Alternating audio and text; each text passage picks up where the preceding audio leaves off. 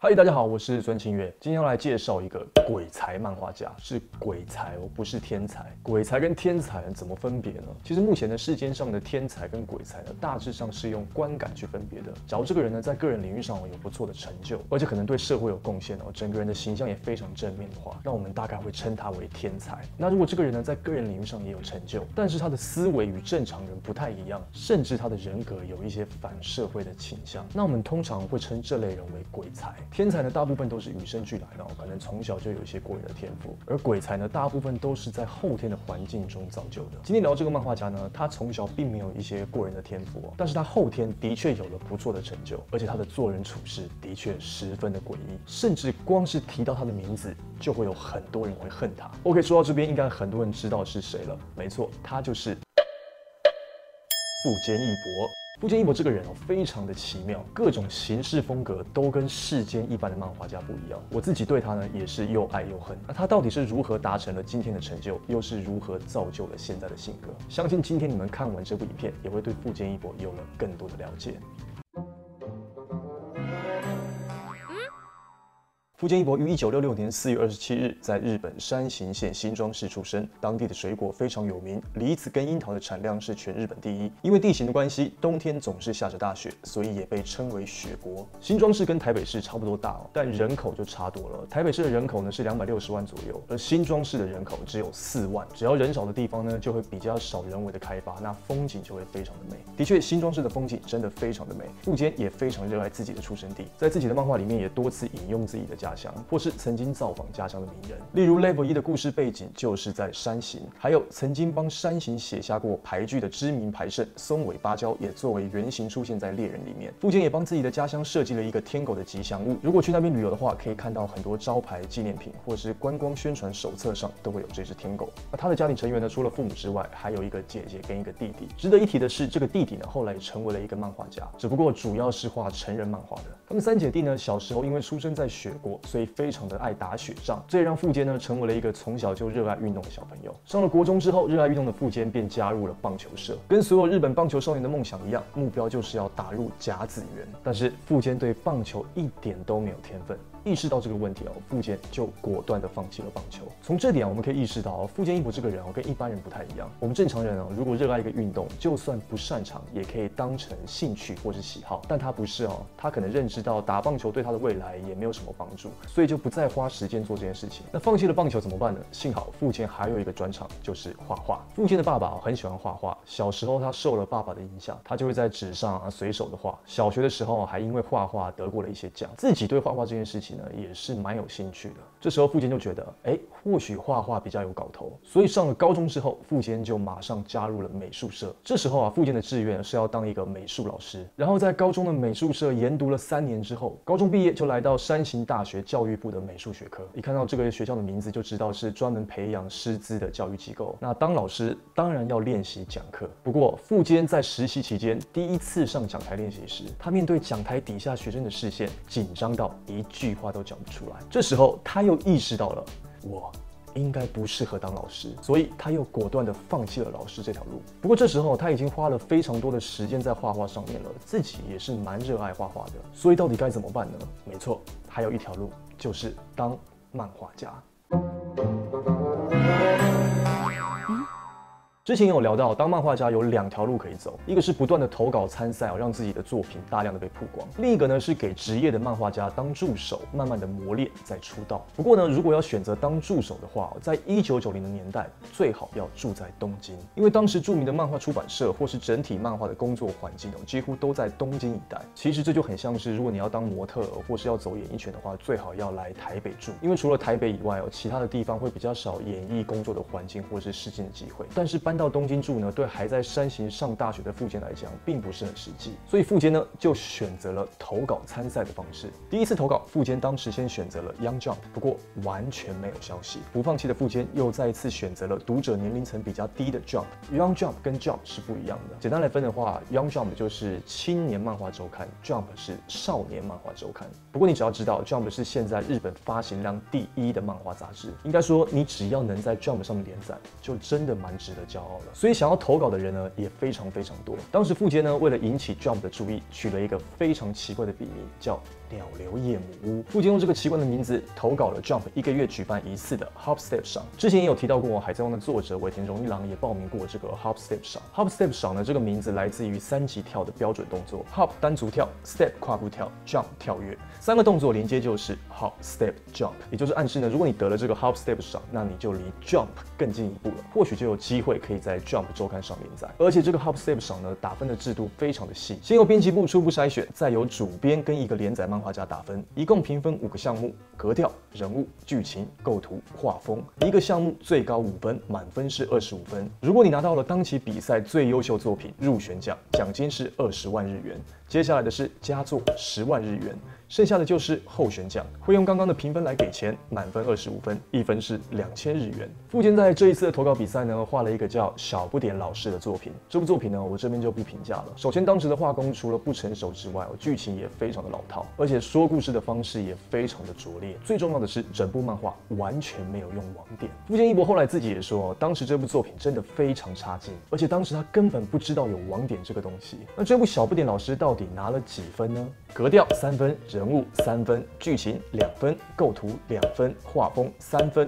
一共拿了十三分，归类在候选作品，所以总共拿了两万六千日元。顺道一提，该届的入选还有佳作奖都空缺，也就是没有人得奖。但当时富坚呢做了一件影响他之后一辈子的事情。原本在投稿作品哦最后一页的背面应该要写下姓名、住址跟联络方式，富坚呢却在上面写了大大的几个句子：我立志成为漫画家，请狠狠的挫我锐气。给我严厉的批评，这些话呢，吸引到了当时的一个编辑，这个编辑叫高桥俊昌。高桥俊昌呢，在我之前的影片也说过，他是被集英社誉为最有能力的编辑，也是 Jump 第七代的总编辑长。正所谓伯乐是千里马，高桥俊昌可能从这部作品看到了富坚的可能性，联系了富坚，并且跟他说愿意辅助他成为漫画家。于是从那天开始，富坚就边念书边磨练画技，遇到问题的时候也会跟高桥请教。就这样磨练了一年，富坚来到了二十一岁，也就是。一九八七年，富坚决定再挑战一次 Jump 的 Hop Step 上。这一次呢，从构思阶段开始哦，就把稿件给高桥编辑一起讨论，并且听取意见，而且也不用笔名了，直接用自己的本名富坚义博参赛。这一次的作品叫《树罗族人美月》。其实这部作品哦，有一点像《悠悠白书》中后期的氛围，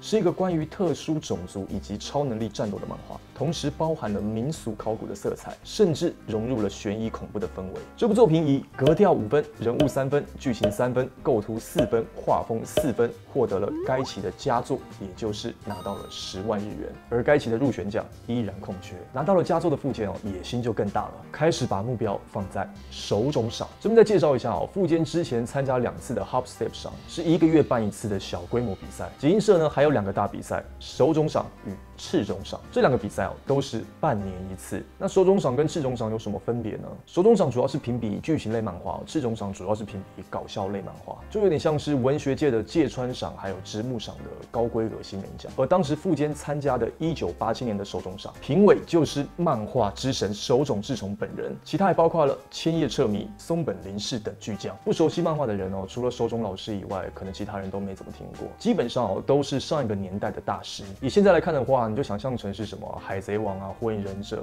灌篮高手》的作者一起来当评审就好了啊。当然，这些人现在也都是手冢赏的评审，所以能够让这些人阅读自己的作品并给取意见，不要说新人哦，连职业漫画家都是梦寐以求的。再加上最高奖哦，入选奖是一百万日元。现在已经涨到两百万日元了，准入选奖是五十万日元，佳作奖三十万日元，奖金非常非常的高。但要拿到入选奖没有那么容易。手冢赏目前办了八十六届，只有十四人拿到了这个奖，也就是有七十二届这个入选奖都是空缺，所以标准非常非常的严格。而这一次呢，富坚义博也投入了半年的心血，还用他最爱的棒球为主题。这部作品名为。狂飙快速直球，努力果然是有代价的。这部作品在满分五十五分里面获得了四十五分，以当年第一名的成绩拿到了准入选奖。顺道一提，入选奖当年依然是空缺。手冢当时颁奖的时候说：“富坚义博非常王道，对喜剧有种独特的感知力。”一九八八年，这部作品也刊登在 Jump 上，是富坚初次登上 Jump 周刊。但整体而言，这部作品虽然跟之前的小不点老师比是进步非常多，不过依然是一部不值一提的作品。时间过得很快。来到了一九八九年，富坚这时候来到了大四，也准备要毕业了。除了忙着大学的生活，富坚也不断的磨练着自己的画技。这时候高桥编辑就跟他说了，希望毕业之后他可以搬来东京，方便作为一个漫画家开始连载。但搬到东京对于富坚来讲是非常有压力的。富坚的家境哦并不是非常的好，他也没有什么存款，而东京是一个消费非常高的地方。不过富坚呢还是很想要去东京闯一闯，所以他必须要在短时间内凑出一笔钱。在这种种的压力之下，富坚创作了一部非常短的作品，叫《灵异侦探团》。这部作品于一九八九年在 Jump 春季的增刊杂志发表，是早期富坚作品连载最长的一篇，有四十三页。画这么长，也就是因为稿费可以拿得多一点。这部漫画呢，也就是悠悠白书早期的框架了。幽灵的故事，标准的四人团。而这部作品呢，也成为了富坚在他老家山形的最后一个创作作品。来到东京之后，富坚开始正式以漫画家的身份工作。于一九八九年的七月开始在 Jump 连载《淘气爱神》，这是一部有点微色情的奇幻轻喜剧漫画，也是富坚第一次在 Jump 周刊上正式连载。第一次尝试周刊连载哦，让富坚吃足了苦头。大家都知道，周刊连载漫画家平均的睡眠时间是四个小时，严重的睡眠不足，加上来到东京之前呢，跟亲戚借了一笔钱，也就是债务压力，在生理跟心理的双重压力之下，给他的创作带来了很大的影响。所以《淘气爱神》的连载状况哦越来越糟。那连载状况越来越糟会怎么样呢？《Jump 周刊》哦其实非常重视读者排名，在周刊的后面会有一个类似读者调查问卷的回函，你可以填写当周你认为最好看的漫画，并且寄回去。每周他们都会公布最受欢迎的漫画排名。如果你的作品连续好几周的排名都一直靠后，没错，就会被腰斩，非常的现实。《淘气爱神》前十周的连载哦，原本读者排名都有前八名，但是从第十一周起，连载的排名开始下滑。就在《淘气爱神》一直垂死挣扎的时候，突然有一部作品在 Jump 上开始连载。这部作品是桂正和的《电影少女》。桂正和就是非常有名的 IS 的作者，他当时比富坚大四岁哦，当时比富坚大四岁，现在也比富坚大四岁哦。总之就是。他的资历比较长，作品当然也就更成熟一些。有看过桂正和作品的人就知道，桂正和很擅长画人物，尤其是身体的线条，譬如大腿、屁股都画得非常的好。而桂正和的电影少女呢，跟富坚的淘气爱神呢定位又有点类似。相比之下，桂正和的作品一定是更能吸引人的。所以在电影少女开始连载没多久，淘气爱神就迎来了结束。一九九零年初，淘气爱神被迫腰斩，富坚的第一次连载就这样画下了句点。当时哦，他非常的自暴自弃，甚至在淘气爱神第二卷卷。单行本发行的空白处还写说：“我的文笔特别差。如果你们想要连载结束、身价下跌的漫画家的回信，现在是个大好机会。”但就算自暴自弃，他依然想着要如何画出更受欢迎的作品。前面有提到，富坚义博是一个聪明人，他会果断的放弃不适合自己的东西。他知道自己可能不适合这种以美少女为卖点的故事，所以他就放弃了走少女情色的路线。接着他又想到，之前有画过一部灵异侦探团的短篇集，这种灵异题材的漫画或许是自己擅长的，但是灵异漫画的受众。群哦非常狭窄，所以不能单纯的只画灵异题材。那如果是结合灵异跟战斗呢？七龙珠现在这么红哦。好像不错哦。于是富坚呢就在周刊的连载会议上提交了幽灵与战斗的分镜稿，主要的内容呢大概就是跟妖怪战斗的方向。这个主题啊，当时在会议上马上就通过了。不过富坚却完全没有想这部漫画的名字，只在分镜稿的上面随便写了个“幽灵入门”四个大字。于是大家呢就开始为这部幽灵战斗漫画的名字伤脑筋了。这时候就有人说。哎，跟妖怪战斗有点《西游记》的感觉，那又有幽灵，不如叫《悠游记》吧。很多人也都觉得《悠游记》这个名字不错，但很不巧的是，Jump 当时有一部新连载的作品叫《真游记》，因为名字实在太相似了，所以《悠游记》这个提案就被否决掉了。这时候，富坚义博的脑海里不知为何浮出了“白书”两个字，“白书”就是白皮书的意思。没错，历史上一部经典作品《悠游白书》就这样诞生了。《悠游白书》于一九九零年开始在周刊 Jump 上连载，并且因为之前淘气爱神的工作量太大，富坚这一次学聪明了，请了两个固定的助手，一个叫魏野，一个叫大森。这两个助手呢，负责悠悠白书整部的连载工作，偶尔也会有第三个助手来支援。这个支援的助手呢，就比较没有固定，很多时候是相关科系的大学生。值得一提的是，魏野这个助手近几年出了一本书，叫《先生白书》，内容就是他在富坚底下当助手的日子都在做什么。你看，连在富坚底下当助手的日子都可以出书，可见富坚一博这个人的魅力有多么大。悠悠白书这部漫画在初期使用了。一个非常大胆的策略，一开始就让主角死掉，并且连载十七周之后才复活。这十七周里面连载的内容完全都没有跟妖怪战斗，跟当初与幽灵战斗的设定完全不一样。很多人认为哦，幽游白书一开始设定是灵异小故事，因为人气不高，所以后来才转成王道漫画。其实并不是哦，一开始就设定了要打妖怪。毕竟原本的书名《幽游记》就是来自于跟妖怪战斗的《西游记》。那到底为什么要这样做呢？其实最主要的一大原因是富坚不太会画战斗的画面。富坚从接触漫画开始，画的几乎都都是搞笑题材的漫画。所以他必须有足够的时间练习，还有一点是角色的塑造。如果一上来就跟妖怪战斗，也是有点突兀。所以他把主角浦班优助设定成非常会打架的不良少年，并且在这段期间努力练习画功。也就是说，幽游白书其实从初期就是在玩一个赌博，要让主角死亡十七周复活之后，才开始进入真正的主题，真正的开始跟妖怪战斗。这个赌博啊，其实非常非常危险，因为在 Jump 周刊上连载的新作品，差不多二十周上下是被腰斩的高峰期。很多作品哦，都差不多是这时候撑不下去的。而当时负责的编辑呢，也就是富坚这辈子的贵人高桥俊昌编辑，允许了这件事情。他大胆的让富坚这么做，而最后他们也。赌赢，在连载十七周优助复活之后，加入了藏马跟飞影这样的角色，人气也开始明显上升。在飞影跟优助对决那一集，Jump 读者问卷排名首次进入了前十名。不过富坚在当时还没有克服最大的难关，那就是人物的透视以及战斗画面。所以富坚在战斗上运用了很多巧思，例如跟飞影战斗时用镜子反射灵丸，跟乱童战斗时耳朵被水草堵住，所以造成皱纹反弹。当然这些巧思也造成了意外很好的反响。而在进入四圣兽篇的时候，排名就稳稳的再也没有跑出十米以外过了。富坚义博也在这段期间不断的精进自己的画工。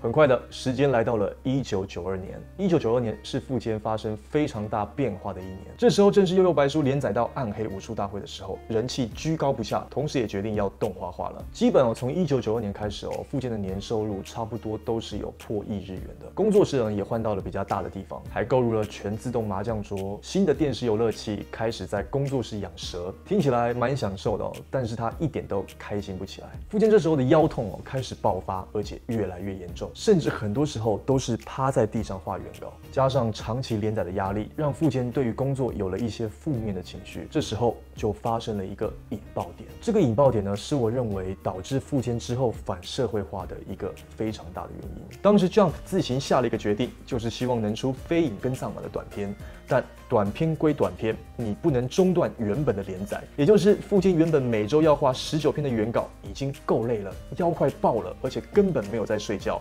我还要再画一个三十一页的藏马跟飞影的外传。富坚强烈的认为这种东西是商业的，并不是他想画的。但没有办法，这就很像是公司要你加班，你就得加班。这个事件哦，让富坚对于 Jump 的制度产生了非常大的质疑。再加上高桥俊昌从暗黑武术大会之后就不再担任富坚一博的责任编辑，种种以上的事件让富坚进化了。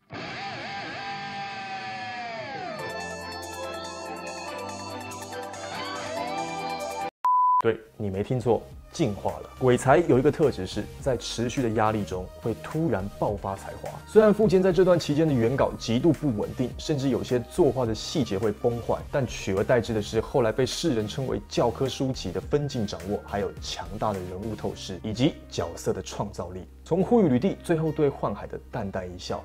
到仙水这个有着多重寓意的反派人物，这些会让人去思考、去咀嚼的内容，都是富坚前期作品所看不到的。甚至是在仙水篇的智斗这种特别的战斗风格，也算是为后期的作品猎人打下了一个基础。紧接着，富坚又换了一次工作室，这一次的工作室非常的大哦，搬到了东京的下北泽，是三层楼中楼的公寓。这时候呢，也是仙水篇要完结的时候。富坚这时候呢，也有着强烈要完结《月有白书》的想法，但是跟 Jump 始终无法达成一致的意见。当时富坚也表示哦。他已经到了一看到原稿就想要吐的地步，甚至哦，在周刊上连载的画面哦越来越粗糙。当然，单行本都修正了。这时候，他也已经在心里下了一个决定：我不管怎么样都要结束连载。于是，抱着这样的思想，悠悠白书来到了最终的魔界篇。这个魔界篇顺着剧情慢慢的展开了魔界武道大会，并且还画了一个一百多人的战斗表。当时很多读者哦看到了这个战斗表，就认为接下来会有一大串精彩的战斗可以看。殊不知，两周之后武道大会就结束了。这两周的中间呢，还包含了一。次的休刊，这也是富坚义博连载《悠悠白书》以来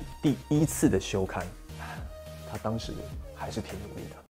很多人认为是因为富坚想要偷懒才不画这个武道大会，其实并不是，他一开始就没有想要画。在仙水篇的结尾，树有一句台词是这样的：“从此我们想静静的过日子。”我们都已经受够了，你们再去寻找新的敌人，继续战斗吧。就好像在说，身为作者的富坚义博真的很想休息了。他并不想要让自己的作品变成无止境战斗的商业漫画。于是，悠悠白书就这样迎来了结尾。富坚在最后的结尾运用了当初开头的轻喜剧侦探风格，并且把所有人物都交代好了之后。用一格没有人的房间掉落了一张照片，作为了悠悠白书的完结画面。这个画面啊，我当时看到的时候是一种无法理解的悲伤感，但是又有一种满足感，有一种我很想哭，但是又很幸福，是一种空洞跟满足交杂的复杂情绪啊。我一直认为这个完结画面是画的非常非常好的。于是，在一九九四年第三十二期的周刊少年 Jump 上，又有白书刊登了最终回。在目录的留言栏内，富坚义博写道：“感谢大家长久以来的支持。”我想暂时放电一段时间。嗯。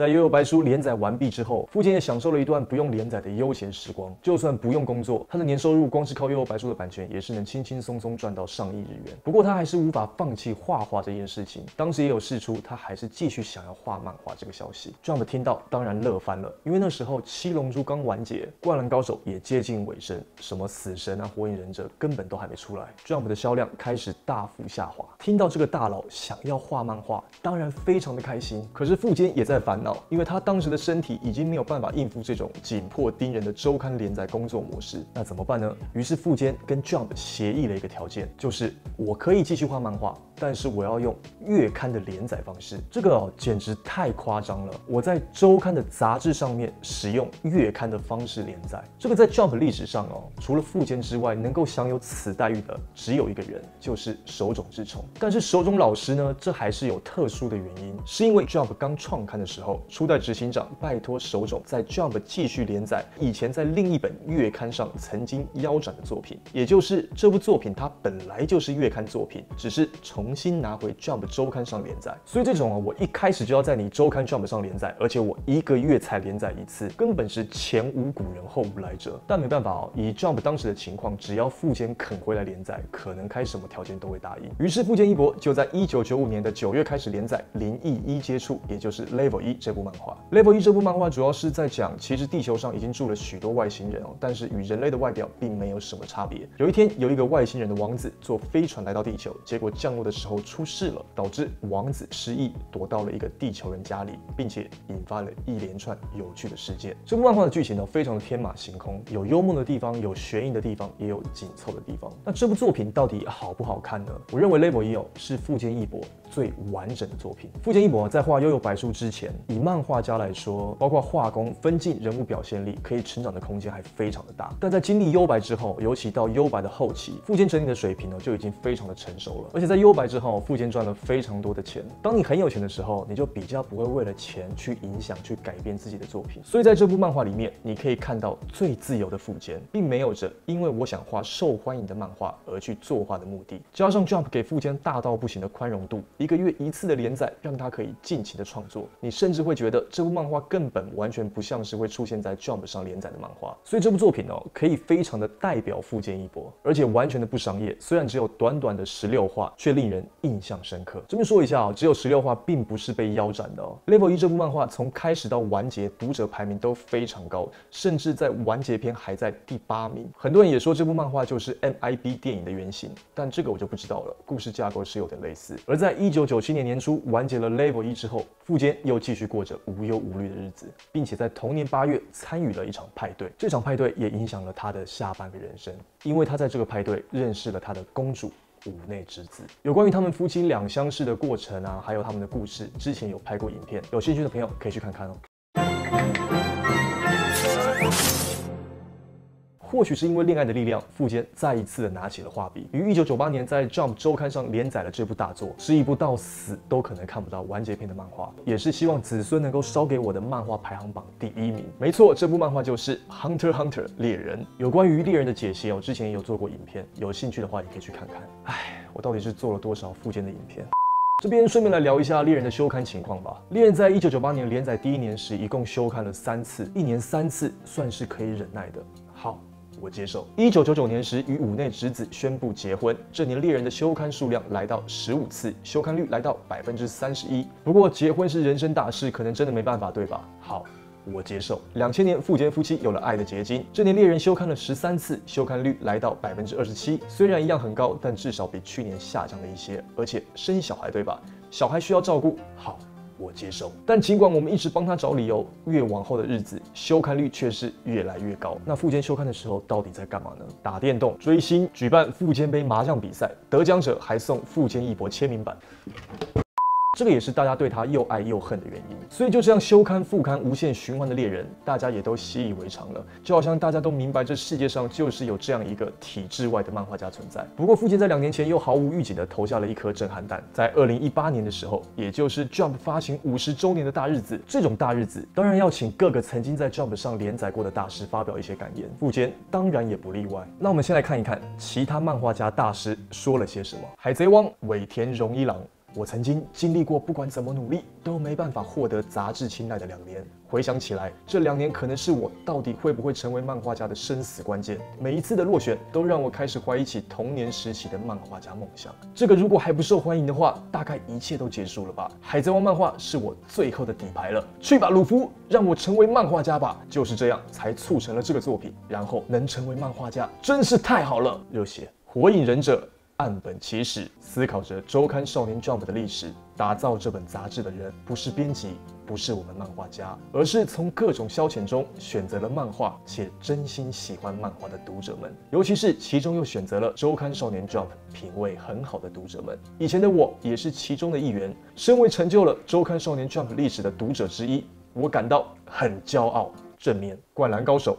井上雄彦借这次机会，我意外回想起了以前工作时和同事一起吃便当叫外送的小事。因为我喜欢篮球，感觉能拿来画的也只有篮球了。就跟每个人刚开始打篮球一样，当我将这个想法画在纸上后，熟能生巧后，越画越上手。我到现在都很感谢那段一边画画一边兴奋不已的那段时光。励志。好，看完以上三个作者的感言哦，真的非常非常的感动，有一种鼓励追求梦想哦，带给大家力量的感觉。那我们来看一下富坚义博的感言是什么？猎人富坚义博，呃，从连载的最一开始到现在，这四年的心情改变了很多。因为税金大概有百分之七十都被抽走，如果用一天工作二十小时来看，等于有十四小时都在做白工啊！一想到这里，就很想半夜冲出门狂奔。如果当时有驾照的话，应该就去飙车了吧？感觉自己的身体、生活、心灵都已经支离破碎。对于周刊少年 Jump 卖出六百四十万本，呃，我也没有什么特别的感慨。我是玩家嘛，何必为了游戏主人公的成就达成而高兴？了不起就是如同花素对画框喊出万岁这样，有种。